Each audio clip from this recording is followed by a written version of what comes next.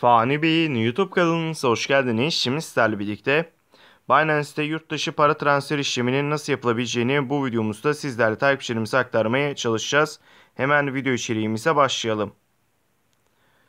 Avrupa'da bulunan müşteriler SEPA banka transferini kullanarak euro yatırabilir ve çekebilirler.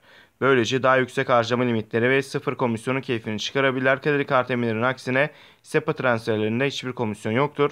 Eğer siz Binance'te yurt dışına para transfer yapmak istiyorsanız coin transferi yapabilirsiniz. Çok kolay bir şekilde. Mesela yurt dışında kime e, para yollamak istiyorsanız Binance açıp onun hesabına mesela USDT gönderebilirsiniz. E, USDT biliyorsunuz Amerikan dolarına indeksi e, bir coin diyebiliriz. Sabit e, coin diyebiliriz. Tether e, gönderebilirsiniz. E, onun dışında para transferi için farklı coin türleri var. Farklı coinler var o coinlerin ne kadar mesela 100 dolarlık transfer yapacaksınız ya da 100 euroluk e, onun akabinde bir bitcoin gönderebilirsiniz. E, 100 dolarlık 100 euroluk.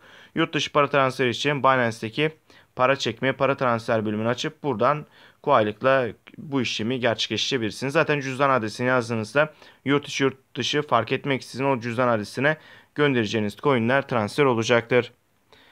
Videomuz bu kadardı. Umarım videomuzu beğenmişsinizdir. Videoyu beğendiyseniz aşağıdan beğen butonuna kılmayı unutmayın.